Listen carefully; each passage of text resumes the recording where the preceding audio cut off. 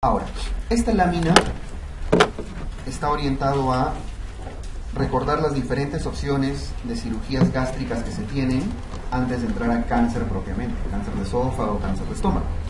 Hace un rato estuvimos hablando de las fundoplicaturas, ¿verdad? En la imagen de arriba. ¿Qué es la fundoplicatura?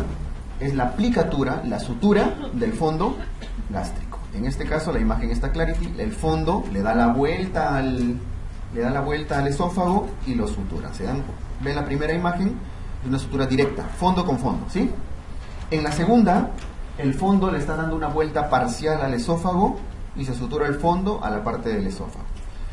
En ambos casos que están tratando de darle mayor, eh, un cierre al esófago, al esófago inferior. Generalmente, ¿para qué patologías? Para reflujo. Reflujo gastroesofágico, hernias del hiato, etc. Diferentes patologías en las cuales hay reflujo indican fundoplicatura. Ahora, la fundoplicatura puede ser de diferentes tipos. Aquí están las dos principales. Fundoplicaturas totales o de 360 grados en las cuales le ha dado la vuelta completa del fondo al esófago. O fundoplicaturas parciales que están a la derecha en la cual no le dan vuelta total, sino 270 grados. Puede ser un poco menos, 180 de repente, pero no todo. ¿Ok? ¿Cuál es el nombre, el de la izquierda? El, ¿Qué nombre recibe? ¿Nombre propio? La clásica, ¿no? La fundoplicatura de Nissen. Y la de la derecha, el nombre más común es la fundoplicatura de Tupet. Tupet. Ya están los nombrecitos. Nissen y Tupet. Ahora, la diferencia entre Nissen y Tupet no es solamente cuántos grados le da vuelta, tiene que ver con el tratamiento de los pilares del diafragma. Yo pensé que esta imagen iba a ayudar, pero no. ¿Se acuerdan cuando vimos en anatomía el ángulo de Treitz? Se lo voy a tener que dibujar. El ángulo de Treitz, el, el esófago, primera, segunda, tercera, cuarta porción, eso, eh, duodeno ascendente, ángulo de Treitz, ¿sí? Ya está. El ángulo de Treitz, ese angulito, está sostenido por un ligamento. ¿Cómo se llama ese ligamento? De Treitz, ¿no? ¿Y dónde se sostiene ese ligamento de Treitz arriba? ¿Quién le da fijación a ese ángulo? El pilar, el pilar derecho diafragmático. ¿Y qué son los pilares? son los músculos que rodean al esófago. A la altura del, en el diafragma, a la altura donde el esófago cruza el diafragma, ese esófago está rodeado por un pilar derecho, músculo acá, y un pilar izquierdo, músculo acá, que se entrecruzan arriba y luego se entrecruzan abajo. Pilar derecho, pilar izquierdo. O sea, esta musculatura eh, que rodea al esófago le da también continencia para evitar el reflujo y demás, aparte del esfínter. Es parte del diafragma esa musculatura. ¿Ok? En la fundoplicatura de Nissen, además de que el fondo le da la vuelta 360 grados, hace tratamiento de los pilares. O sea, si los pilares están de repente muy abiertos, los cierra. cierra. Entonces Nissen, además de, aplicar 360 grados, hace una sutura del una sutura de los pilares del diafragma, los afronta para que esté más cerradito y más estrecho. Entonces, Nissen es una fundoplicatura total de 360 grados más tratamiento de los pilares. En cambio, Tupet a la derecha no es solamente 270 graditos. ¿Qué más? Eh, ¿Qué incluye? No hace tratamiento de los pilares, lo deja abierto. O sea, como verán, es una fundoplicatura parcial, mucho más suave. Probablemente para reflujos no tan severos, eh, para reflujos en niños incluso, o sea, no se hace tratamiento del diafragma. Eh, le ponemos acá pilares negativo. Ya, no se tratan los pilares. ¿Cuál es el gran problema de Nissen? Nissen tiene dos complicaciones importantes. Primera complicación, ya que le está dando la vuelta a 370, 360 grados, puede generar estenosis. Se les pasa la mano y ya también obstruyen mucho, haciendo una pseudoacalasia. ¿Cierto? Cierran el esófago afuera. Entonces, estenosis. ¿Y cuál es el otro problema? Que está bien graficado ahí y, gritando el color. El amarillito. Compresión y lesión del nervio vago. Lesión del nervio vago. ¿El anterior o el posterior?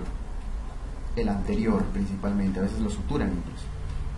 O, en todo caso el vago izquierdo que venía del esófago. ¿no? Olviden que el izquierdo ahora se vuelve anterior. Entonces, lesión o compresión del nervio vago. ¿Y qué problemas puede traer la compresión del nervio vago? Desde problemas peristálticos, pilóricos, este, vesiculares, etc. Por que el nervio vago termina inervando prácticamente todo eh, en la rama parasimpática para todos los órganos intraabdominales. Entonces, además de la estenosis, Nissen puede traer lesión del nervio vago, del, décimo par. ¿Ya? Y tu PET, por lo tanto, no tiene esa, esas complicaciones. Como verán, el objetivo de los 270 grados precisamente es dejar libre la cara anterior para que el nervio vago pase libre, no se vea comprimido y demás. Y, el otro objetivo es que no genere estenosis. Pero ¿cuál es el problema de, de tu PET? Que además de, este, de no darle toda la vuelta al esófago, no le hacía tratamiento a los pilares. Por lo tanto, ¿qué suele tener esto? Más residiva, más residiva del reflujo. Pero ¿en quiénes está indicado en todo caso la fundoplicatura de Tupet? En niños. En niños se prefiere Tupet, porque el hecho que está en crecimiento el niño hace que si le hacen Nissen pueden terminar obstruyendo totalmente el esófago. Muy bien. Son las, los tipos de fundoplicatura clásicos con sus indicaciones, complicaciones, características. Vamos a las vagotomías, que les va a servir para, sobre todo cuando hagan tratamiento de las úlceras pépticas en gasto. Pero a ver, ¿qué tipos de vagotomía existen? Existen tres tipos de vagotomía. Eh, no olviden que los nervios vagos, aquí tenemos, la manito está mostrando el lado izquierdo, ¿sí? Este nervio vago se divide en dos partes hacia el estómago está yendo la rama gástrica, la rama gástrica del nervio vago, y hacia el otro lado, en dirección al hígado, está yendo la rama extragástrica, una de las cuales se va hacia el hígado, hacia la vía biliar y demás, y a órganos que están de este lado. Entonces, este es el tronco vagal, que se divide hacia el, rama hacia el estómago y rama hacia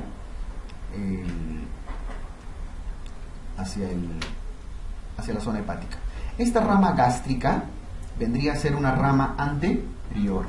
¿Cómo se llama esta rama anterior? El nervio de Latar-Jet, el famoso nervio de Latar-Jet. Hay un Latar-Jet anterior, una rama anterior, una rama gástrica anterior o rama anterior de Latar-Jet, y hay una rama posterior, que corresponde a qué nervio? Al derecho, que se iba para atrás, ¿no es cierto? El derecho también tiene la misma división, y como verán, una parte se va por la curvatura menor en dirección al píloro, y se llama también nervio de Latar-Jet, rama posterior. Entonces, quienes inervan, quienes inervan el estómago, tanto la rama anterior como posterior de la target de los nervios vamos. ¿Estamos? Este nervio de la target, este, este, esta rama anterior, trabajemos solo con el anterior ahora, concéntrense solo en el anterior. Esta rama anterior, que estoy mostrando con la manito, sigue todo el camino de la curvatura menor y la rama principal, ¿hacia dónde se va? Hacia el píloro el píloro, dando inervación pilórica. Pero en su camino deja un montón de ramitas. Inerva el fondo, inerva el cuerpo, inerva el antro, el mismo píloro, etc. Todas esas ramitas. En las úlceras, ¿qué es lo que quieren denervar? ¿Qué, qué, dónde están las, las células que producen ácido clorhídrico principalmente? Las células parietales en esta parte, ¿cierto? En la parte inferior, en la mitad inferior, la parte inferior del cuerpo, el antro. Entonces suele ser esta parte la que quieren denervar. Además de generar denervación de la producción de gastrina y demás. Pero bueno, vamos a la parte quirúrgica. ¿Qué opciones de vagotomía tienen? Está bien descrito acá. Con cuadradito, la vagotomía troncal. Entonces, ¿qué cortan ahí? Todo el nervio va. ¿Qué problemas trae el nervio este, este corte? que denervan no solo el estómago, sino a la rama hepática. Denervan la vía biliar, causan N problemas, N complicaciones. Denervan al píloro, denervan a todo el tracto gastrointestinal, traen problemas de peristaltismo y demás. ¿Reducen la secreción de ácido clorhídrico? Por supuesto que sí, pero con todos los problemas adicionales que hay. Entonces, la siguiente opción es una denervación o una vagotomía selectiva de, redondito, ¿no? Este circulito. ¿Cuál es? Acá, ya sea acá o acá. Hay otras opciones, variantes, los que van al fondo y demás, pero en todo caso solamente se altera o se corta la parte del nervio que inerva el estómago. El resto, la que va hacia la zona hepática, se conserva. Eso es selectiva. Selectiva solamente para la zona gástrica. Pero siguen cortando la inervación del píloro. Por lo tanto, van a traer problemas pilóricos de vaciamiento. Y la opción final, la más difícil, que necesita mucho más experiencia y demás, es la vagotomía proximal, supraselectiva, altamente selectiva, parietal, n sinónimos. ¿Por qué?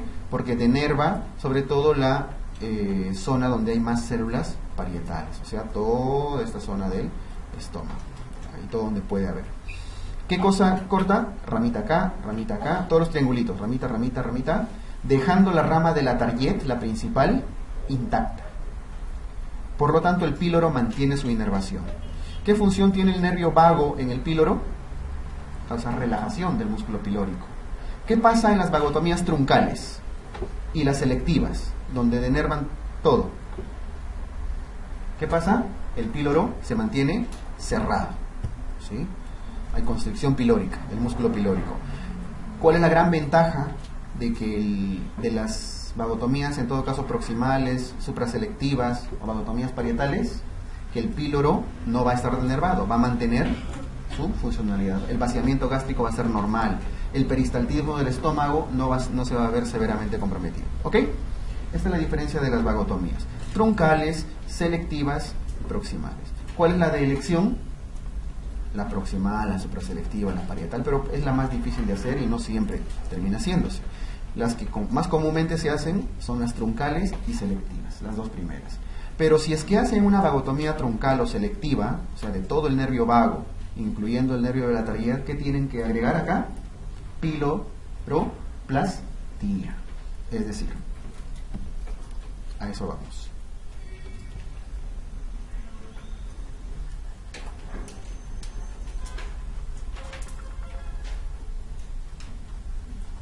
Hicieron una vagotomía truncal o selectiva. ¿ya? ¿Y quién pagó pato? El píloro. ¿no? Curvatura menor, curvatura mayor, píloro. Entonces el píloro va a estar cerrado, comprimido. Cerrado, cerrado, cerrado. No va a haber buen el, el, peristaltismo del estómago va a ver reducido, no va a haber vaciamiento gástrico. Entonces, ¿qué hacen? Si han hecho una vagotomía truncal o selectiva, cualquiera de esas dos, tienen que hacer una piloroplastía, es decir, abrir el píloro, hacerle un huequito al píloro, acá, se hace un corte para liberar las fibras musculares, para que no estén hipertónicas y demás, y ese orificio de pasada, ¿para qué sirve? Para suturar la úlcera que está dentro. No olviden que las úlceras son antropilóricas en la zona del antro y el píloro principalmente, y las, el duodeno en la parte proximal. Entonces, ese huequito de pasadita sirve para suturar muchas veces el orificio de la úlcera cuando están operando. Pero bueno, en la piloroplastía hacen un cortecito de forma longitudinal en el píloro, liberan las fibras musculares para que ya no haya hipertonía y cómo lo cierran, como era el cierre del intestino, dijimos hace una clase, siempre transversal. El cierre va a terminar siendo así. Lo estiran ya también al otro lado y lo cierran. ¿Qué han conseguido con eso? Liberar las fibras del píloro para que ya no esté hipertónico, que haya buen vaciamiento y tratar la úlcera incluso probablemente. ¿Ya? Entonces, a toda vagotomía truncal, troncal o selectiva, ¿qué cosa la debe acompañar? Una píloroplastia.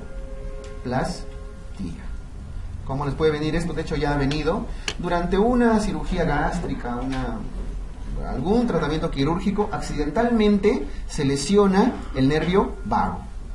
¿Cuál es la conducta que debe hacer el, el cirujano en ese momento? Pregunta. Sí, tres veces habrá venido esa pregunta. ¿Qué conducta debe tener? Inmediatamente una piloroplastia. No va a reconstruir el vago, ya fue, ya no se va a poder. Pero el píloro hay que tratarlo para que no haya obstrucción. ¿Ya? Listo. Cerramos entonces con los tipos de vagotomía. A la derecha tienen los diferentes tipos de cirugías, sus complicaciones. Eh, los Rods, Whipples, Y de Rux y demás, que tenemos que conocer antes de entrar a la parte oncológica. Cuando se hace una cirugía de estómago, una gastrectomía en este caso, las gastrectomías pueden ser totales, sacar todo el estómago, o pueden ser parciales. Cuando hablamos de gastrectomía parcial se refiere generalmente a la extirpación de la mitad inferior, antro, píloro. Entonces, los Billroths, la cirugía Billroth 1 y Billroth 2, en, si ven las figuritas, en ambos casos se conserva parte del estómago. ¿Qué cosa se ha resecado? El antro. Se les llama también gastrectomías parciales o, en todo caso, gastrectomías subtotales, que es el nombre más, más correcto. Antrectomía, entre paréntesis, gastrectomía subtotal, igual abajo. Billroth 2, antrectomía o gastrectomía subtotal o parcial. ¿Ya? ¿Qué cosa se agrega a Billroth 1? Vean la imagen antes de leer el cuadrito. Que están uniendo el píloro, perdón, el duodeno al estómago. El estómago al duodeno. Ya no hay píloro, ya no hay antro. Por lo tanto, a la antrectomía se le agrega en el texto una gastroduodenostomía. Unión del estómago con el duodeno. Si ven la imagen es término terminal, término lateral, ¿qué es? Miren la imagen. Término terminal, ¿cierto? El extremo del estómago con el extremo del duodeno. Boca con boca. Y el resto del estómago lo cierran un poquito. Pero término terminal. ¿En qué cirugías está indicado Billroth 1? Está en el texto, indicado en cirugías no malignas, o sea, no cáncer, como úlceras, por ejemplo. Úlceras antrales, úlceras antroduodenales, en las cuales la vagotomía ya no va a ser suficiente, tienen que resecar el estómago el ano. Vean la imagen, se mantiene la vía biliar, el drenaje del colédoco, del páncreas está intacto. O sea, fisiológicamente no va a ser mal. ¿Qué complicaciones trae Billroth 1? En principio, si no hay píloro, va a haber con facilidad reflujo del duodeno hacia el estómago. Y ya que la vía biliar y pancreática están intactas, hay mucho reflujo tanto de bilis como de jugo pancreático hacia el estómago con todos los problemas que eso puede traer. Reflujo alcalino, reflujo, reflujo biliar, si quieren llamarlo. Y el problema no solo es el reflujo, sino también que ya que no hay píloro, cuando el paciente vuelva a comer, ya no hay control del vaciamiento. El vaciamiento va a ser rápido. ¿Cómo se llama eso? Síndrome del vaciamiento gástrico rápido o síndrome de dumping. ¿Ya? Síndrome de dumping. Lo vamos a hacer. A la derecha lo tienen. Lo vamos a hacer al final. Entonces, Billroth 1, gastroduodenostomía, eh, problemas benignos entre comillas, eh, trae reflujo alcalino, vaciamiento gástrico. El Billroth 2, en cambio, vean, vean primero la imagen. La imagen. El estómago está con la manito que estoy mostrando. No hay antro, no hay píloro, el duodeno continúa acá, está cerrado. Esta es una forma de Billroth 2, ¿ah? Conservando la vía biliar. Se conserva el drenaje de la vía biliar, de la vía pancreática, en, la segunda porción del duodeno, tercera, cuarta, y ¿qué es lo que se une al estómago? El yeyuno. Entonces, Billroth 2 es una antrectomía, como está a la derecha, más gastroyeyunostomía o gastroyeyuno anastomosis. ¿Será término terminal o término lateral? La imagen está clara. Término del estómago lateral del yeyuno, ¿cierto? Una gastroyeyunostomía término lateral. ¿Cuándo, ¿Cuándo se indica un Billroth 2?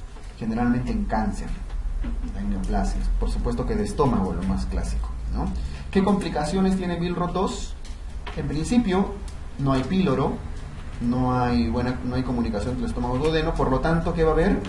Reflujo alcalino también. Toda la bilis que sale del, por el duodeno, sube, sube, sube y puede refluir hacia el estómago. Clásico, el flujo alcalino. ¿Qué más? ¿Habrá vaciamiento gástrico rápido? También, porque no hay píloro. Del toda la comida de frente pasa al, al yeyuno, incluso regresa hacia el duodeno de retro, por la forma que tiene. ¿Qué más? ¿Qué otro problema hay? El síndrome de las asas, aferente y eferente. En esta imagen, ¿cuál es el asa aferente?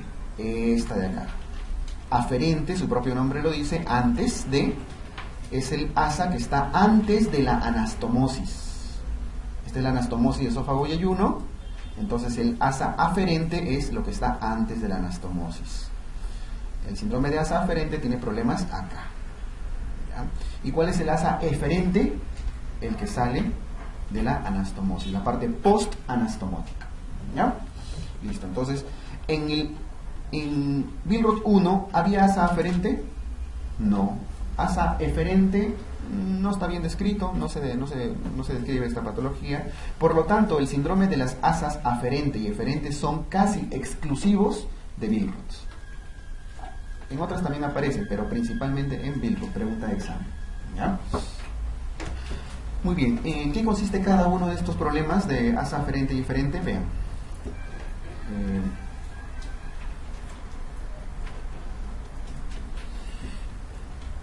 El paciente sobrevivió a su vida, que de por sí ya es un logro.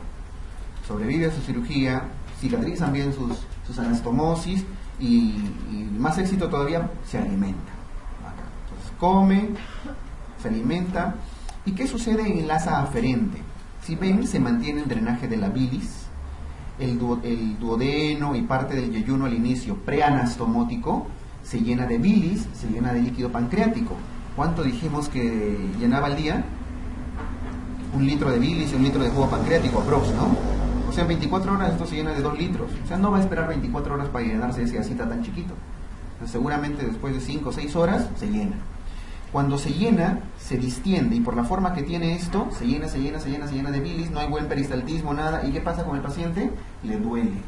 Le duele por la distensión del asa por la distensión del asa preanastomótica. ¿ya? Entonces se llena, se llena, se llena de bilis, se distiende, duele, y ¿qué tiene el paciente? Ganas de vomitar. Finalmente, cuando se ha llenado mucho, vomita. Ojo que no hay una obstrucción mecánica total. Simplemente se distiende, se llena y vomita. Vomita la bilis y le pasa el dolor. Otra vez tranquilo. Se vuelve a seguir llenando de bilis, de bilis, de bilis, vomita y le pasa el dolor. Y así se hace todo el tiempo, pasa con esto. Entonces, ¿en qué consiste el asa aferente? Dolor en hipocondrio derecho, seguido de vómitos, y luego de los vómitos baja el dolor. ¿No? Pueden hacer eso. Y otra vez se repite el ciclo. Ese es el síndrome de asa aferente. En cambio, el síndrome de asa eferente es más sencillo, nunca lo han preguntado. Es cuando ya también el asa eferente se obstruye. Al obstruirse, ¿qué pasa? Vomita no solo se acumula de bilis, sino de alimento. Todos sus alimentos y la bilis que se ha acumulado en esta asa, sobre todo en este ángulo posanastomótico que se obstruye, lo vomita. No genera dolor directamente porque vomita más pronto, pero vomita bilis y vomita alimentos. Entonces el síndrome de asa eferente, vómitos biliosos, alimentarios, sin dolor. Eso es lo que lo diferencia del asa aferente. Entre los dos, conozcan el aferente principalmente. ¿Ya? Ambos son casi exclusivos de Billroth 2. Entonces, mm, ¿cómo solucionan el tema, el, tema del asaferente, eferente, reflujos y demás? ¿Cómo lo solucionan? Billroth solamente es la unión del estómago con el, con el yeyuno o con el duodeno respectivamente, 1, 2. Para eso hacen la Y de Rux, que está arriba la Y de Rux no es parte ni de Billroth 1 ni de Billroth 2, es otra cirugía complementaria. ¿Qué cosa hacen en en la Y de Rux? Vean, está la unión del estómago con el yeyuno en este caso. El yeyuno baja, baja, baja, baja, baja, baja, baja, baja. Y el duodeno, que antes estaba conectado con el yeyuno arriba, ahora se conecta abajo. Es decir, ven este cabito de acá, este de acá, antes estaba unido con esto de acá. Estos dos extremos, este de acá, con este estaba unido. Se cortó para llevar, para que el, drenaje de la bilis y el jugo pancreático sea mucho más abajo, más distal. Generalmente se toma 4 centímetros, 40 centímetros de longitud entre, el entre la anastomosis y eso, y, ese, y esa unión. Eso sí está determinado, son 40 centímetros más o menos. ¿Me dejo entender? Entonces, el ¿en qué consiste la Y de Rux? Se complementa la cirugía. Ya hicieron su Billroth y el drenaje de la bilis el jugo pancreático entra en el yeyuno de forma más distal. Si se dan cuenta, toma la forma de una Y. ¿Para qué hacen una Y de Rux? Para reducir, uno, el flujo alcalino. La bilis el jugo pancreático entran al duodeno, siguen la imagen, siguen la imagen, siguen la imagen, y entra el yeyuno a 40 centímetros del estómago. ¿Por qué es 40? Porque es la distancia que ya se ha estudiado, la cual no va a poder regresar la bilis y generar gastritis alcalina. ¿Ya? Por eso. reducen el reflujo alcalino. ¿Qué más reducen? El síndrome de asa aferente. Ya no hay asa aferente, se acabó. Reducen el síndrome de asa aferente. Entonces la pregunta puede ser, ¿cuál es la conducta quirúrgica o la medida a tomar para reducir o evitar o tratar el síndrome de asa aferente? La Y de Por eso la mayoría de cirugías consideran una Y de Rux complementaria a lo que hayan hecho. Es complementario a Bilrot 1, complementario a Bilrot 2, a Whipple, a todas. La unión del duodeno con el yeyuno en una parte más distal. ¿Ok? Tiene complicaciones, por supuesto, hacen más anastomosis, ¿no? Han hecho una arriba, han hecho una abajo, o sea, hay más probabilidades de que haya licencias. Puede traer problemas. Whipple es una cirugía que vamos a ver ahora en cáncer de páncreas sobre todo. La cirugía de Whipple se denomina también duodeno pancreatectomía cefálica. Duodeno pancreatectomía cefálica, ese es el nombre genérico. Tiene acá el estómago, la imagen de la izquierda es normal, normal entre comillas. Ahí está el marco duodenal, que se le ha pintado de plomo. Marco duodenal, ángulo de Treitz y este, y el ¿no es cierto? Ven cómo está creciendo un cáncer en la cabeza del páncreas, que es la localización más frecuente de los cánceres, en el páncreas, ¿cierto? Bien. ¿En qué consiste Whipple? se extirpa todo lo que está de gris, todo el marco duodenal, incluso la parte proximal del yeyuno, ven que está de gris, se extirpa, y la cabeza del páncreas, y toda la vía biliar. Duode, por eso se llama duodeno pancreatectomía cefálica, cabeza del páncreas y duodeno. Indicación principal, cáncer de cabeza de páncreas, puede ser un cáncer de duodeno, puede ser un cáncer de colédoco distal, también. Puede ser un trauma pancreático grado 5 de cabeza, puede ser un trauma duodenal grado 5 con estallido, o sea, no solo es para cáncer de cabeza de páncreas, sino para todo aquello que haya lesionado toda esta parte. Puede ser un cáncer de duodeno en, la tercera porción, todo lo que implique, involucre esta zona, Whipple. ¿Y cómo queda después? Vean que se quedó de rosadito el yeyuno, ¿no es cierto? El yeyuno termina uniéndose con, lo que queda del páncreas, el cuerpo y la cola del páncreas, ven en la imagen de la derecha cómo termina uniéndose el páncreas al yeyuno, la vía biliar también va al yeyuno y ese yeyuno se conecta con el estómago. Acá el gráfico muestra como si hubiera píloro todavía, lo cierto es que casi nunca se conserva el píloro, muchas veces el mismo estómago, el antro se conecta con el yeyuno. Pero bueno, termina habiendo entonces una duodeno, duodeno pancreatectomía cefálica más, ¿qué podríamos agregarle acá? Gastro-yeyunostomía, más pancreato yeyunostomía, más bilio yeyunostomía. O todo va yeyuno ahora. Estómago, páncreas y vía biliar, lo que queda de la vía biliar. Y se le hace eh, Y de Rux muchas veces también para evitar el, síndrome de asa aferente. ¿Tiene asa aferente Whipple? Sí, ahí está, ¿no? estamos señalando ahí, lo que entra antes del estómago. ¿Tiene asa diferente? También. Entonces el asa aferente y eferente, si bien no es exclusivo de, de 2, también aparece en Whipple. Si es que, les preguntan, considérenlo como clave Milro 2. Es más, es están las dos minutos. ¿Ok? Estamos bien, ¿no? Ya hemos fundoplicaturas, vagotomías, cirugías gástricas, complicaciones de las cirugías gástricas, entre ellas el reflujo, las asas. ¿Con qué tratan las asas? El síndrome de asas con idea de Rux. En cambio, el vaciamiento gástrico rápido, que es el otro problema, el dumping, no lo pueden solucionar con cirugía. ¿Qué cosa es el dumping?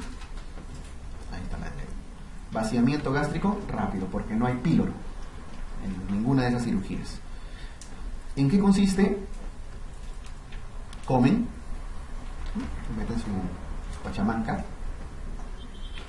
y el vaciamiento se hace rápido. Ya que ya no hay píloro, el estómago flu manda su manda la, comida al toque, al duodeno o al yeyuno, dependiendo de lo que, de lo que haya, ¿no? Entonces, el quimo, el alimento que entra al intestino, se hace hiperosmolar. El alimento debería pasar de a poquitos, de a poquitos, a medida que el píloro lo deja pasar. ¿Cuánto dura el vaciamiento gástrico? Un promedio de tres horas generalmente. Pero aquí comen y a los dos minutos ya está toda la comida en el yeyuno. Pasó por un tubo. Entonces la osmolaridad del, alimento en el, en es altísima. ¿Qué alimentos, qué sustancias, qué alimentos son los que contribuyen más a la osmolaridad? en nefro, cuando ustedes calculaban su osmolaridad, hacían dos, este, cantidad de, de glucosa, de sodio, etc. los, los, los que más, contribuyen a la osmolaridad son el sodio y los carbohidratos. Entre ellos, ¿qué está en más cantidad en el alimento? Los carbohidratos. Entonces, cuanto más carbohidratos comen, aumenta la osmolaridad y ¿qué genera? secreciones inapropiadas de, eh, está asociado a secreciones inapropiadas de fluido, es decir, aumenta la insulina para favorecer el peristaltismo y empieza a haber una rápida absorción de glucosa. La glucosa se absorbe al toque, la insulina se eleva, plum, también se, eleva enormemente y si la insulina se eleva de forma rápida, ¿qué pasa con la glucosa? Cae al piso. ¿ok? Ahora, esa elevación de la insulina, la osmolaridad del alimento dentro del intestino que genera un peristaltismo acelerado y hace que para compensar la osmolaridad intraluminal se absorba agua, se jale agua hacia el intestino. ¿Me explico? Acá, tiene un intestino, tiene un quimo con alta osmolaridad. Dos cosas pasan. Esa alta osmolaridad para compensarse, para compensar, ¿qué hace? Jala agua hacia el interior del intestino. Jala, jala agua. En vez de absorber agua el intestino, empieza a traerlo y llevarlo hacia la luz intestinal para reducir la osmolaridad que pasa adentro. Y además, ¿qué sucede? Se eleva la insulina y el peristaltismo aumenta. Entonces, el aumento del peristaltismo y la, y, la atracción de agua hacia el intraluminal, clínicamente, ¿en qué se traduce?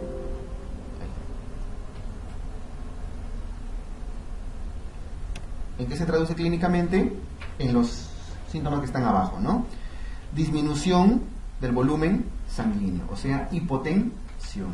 Todo el agua del intravascular, del extracelular, pasa al, interior del intestino.